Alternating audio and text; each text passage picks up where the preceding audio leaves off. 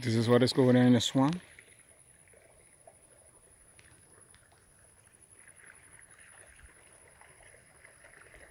What is in there is uh, the rice nursery. Some, not all. All those green fields are all rice.